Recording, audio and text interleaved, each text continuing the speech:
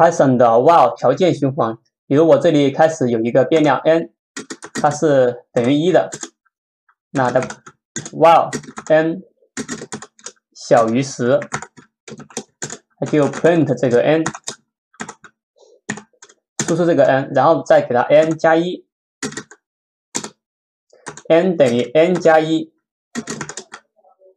也就是每次执行一次，把 n 它的值增加一。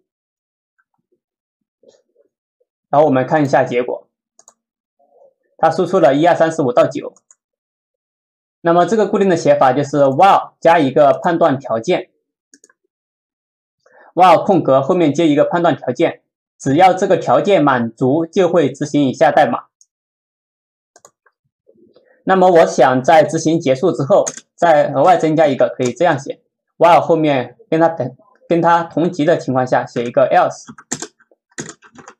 print，比如说循环结束了，